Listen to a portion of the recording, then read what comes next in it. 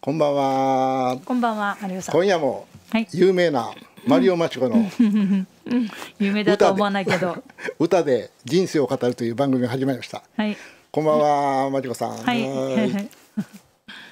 えーっと今日もそのね、はいえーストレートにすぐにはい曲に入ってもらうんですけども、はい。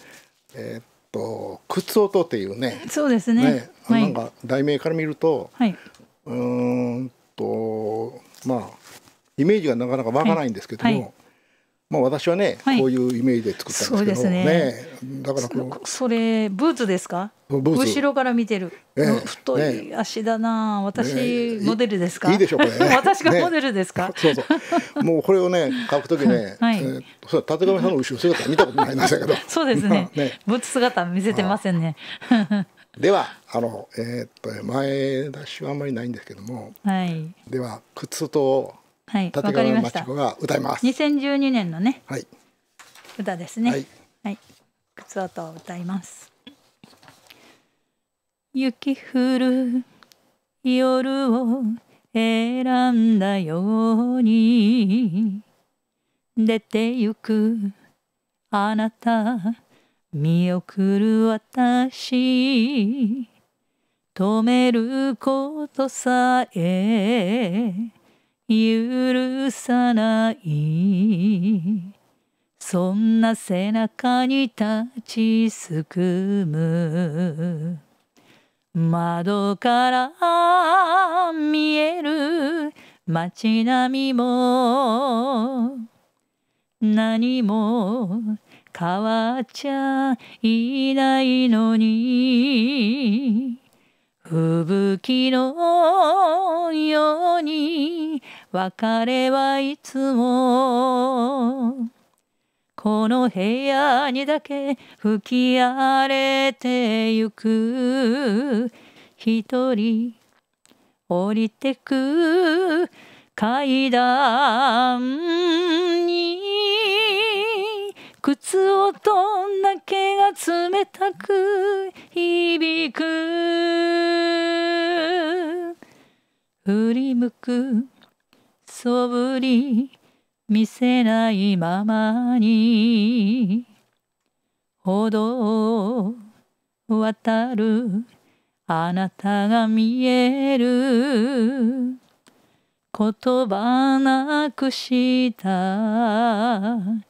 この胸に雪がしんしん降り積もる二人で決めたこの部屋に私一人を置き去りに溢れる涙流れるままに扉の前で立ち尽くすだけ愛の思い出消すよ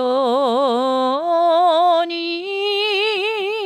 靴音だけがうつろに響く窓から見える街並みも何も変わっちゃいないのに吹雪のように別れはいつもこの部屋にだけ吹き荒れてゆく一人降りてく階段に靴音だけが冷たく響く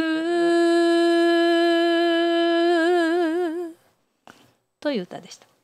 この靴音っていうのは男の人の靴音なんやね。うんそうですね。ね、ちょっと私勘違いしてね、そうですね。女の人の女の人の人の靴音で書いてあったんだけど、そうです。前もそんなね言ってたね。確かにね。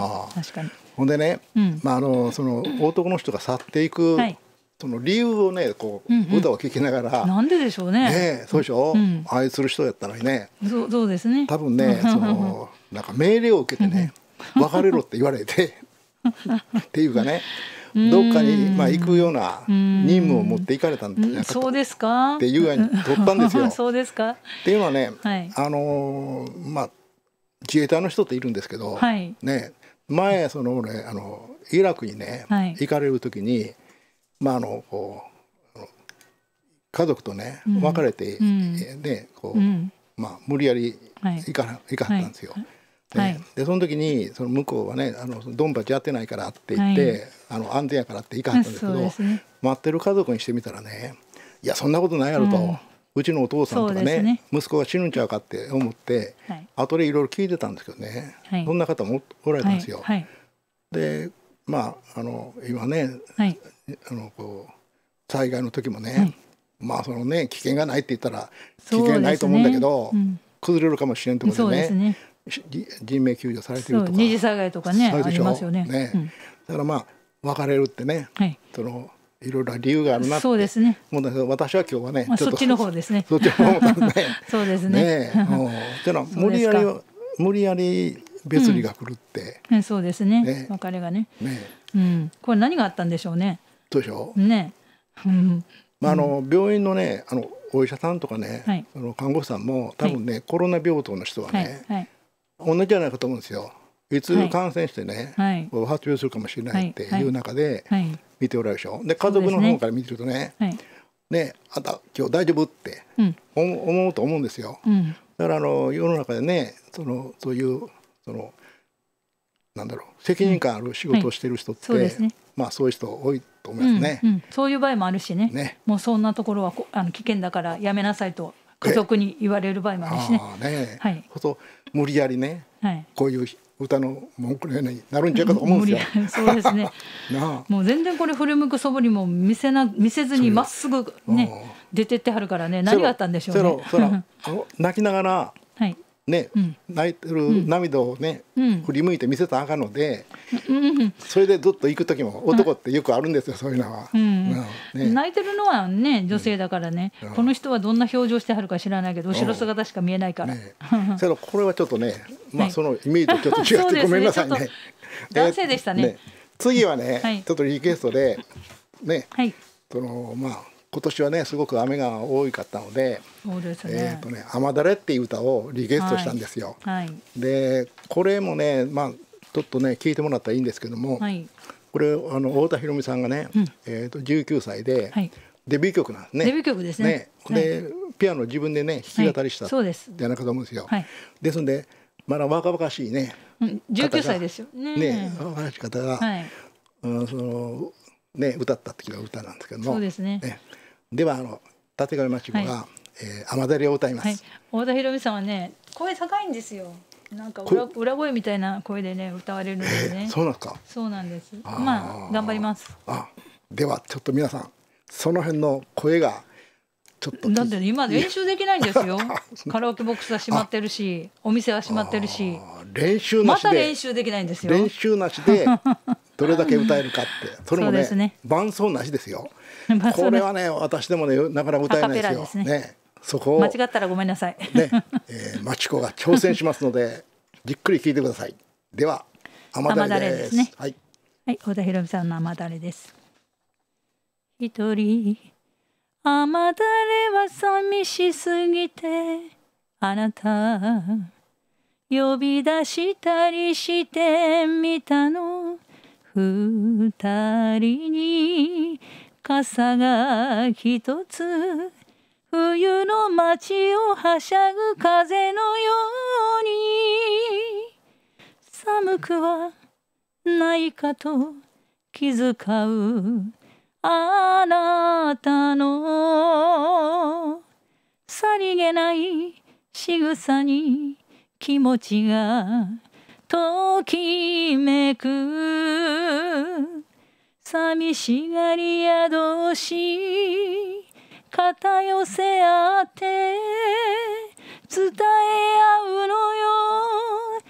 弾む恋の芽生え。なぜかあなたに甘えたくなってそっと腕を組んだ街角よ。二人の影は一つ。いつか愛に優しく包まれて。見つめる瞳に触れ合い探すの。心がほのかに高まって。ゆくのよ。寂しがり宿しそっと寄り添い感じ合うのよ。熱い恋の芽生え。という歌でした。ああやっぱりあのなんかその声聞いてるとね、はい、高い声って言われてたんですけど、はい、あのそのまあ少女期のね、うん、なんかそういうあの声の感じで聞いて、うん、なんかその初々しくね、はい、初恋にね、うん、なんか戻れたって言ったらおかしいけど 昔の。な なそんな意味で、はい、年の男は聞きましたね。そうですか。初々しい感じですね。やっぱりね、はい、あの声やっぱりあの苦しそうやった聞いてて。苦しそうでした？うんね高い声高いですね。ね高いですよ。うん、あの太田博美さんは。ねまあすべてに、うん、木綿のハンカチーフでも高いしね。木綿のハンカチ木綿のハンカチーフは次の年に出してね。そうですね。うん。ほんまにね、はい、いいいいいい感じですけどね、はい、聞いててね。まだねあの声帯が開いてないんです。そんなに練習もしてないです。はい。はい。ねもうこの歌もね、はい、あのさっきのねえー、っと結構その歌手ね、はい、はい、ずっとまあ読んでみたんですけど、はい、こういう歌詞だけ読んでみるとね、はい、なかなかねちょっと分かりにくい 歌で聞いてみるとね、はい、やっぱりいいですね。だからこの曲作られた方がおられませんか、はい、あの有名なね筒井美さん筒京平さんとかね、ね、松本隆さん、ね、いっぱいねそうですね。作っておられたくさん作っておられますね、ね、アイドルのねね。曲ね。うん。だからやっぱりこう歌ってやっぱり曲でね、うん、決まるとこってありますよ。そうですね。ね。だからこの歌も途中でねなんかほらあの歌手の方じゃ作曲家の方はねい。ろいろこう、はい、最近とテレビでおっしゃってるんだけど、はい。はい、あのワンフレーズのとこだけ最初パッと浮かんでね、でそれにこう枝をつけていくとね、すごくそのねあの、流行り歌ができるって、そうでしょうね。印象深いところを、まあまあ、ひらめいたらいいなって。そうですね。言うためだね。それがうまくこうね皆さんのあれにパチッと当てはまったらヒット曲になるんですけどね。ねあ。今日も はい、えっとまた時間早いですね。もうまだまだ喋りたことたくさんあるんですけども、はい、そうですか？時間が来てしまいましたので、はい、えせっかくだから、ね、えどうぞ。ね、だからえー、甘だれです。甘だれと、ね、靴岡ですね。靴岡ですね。ね甘だれも綺麗にかけてますね。はい。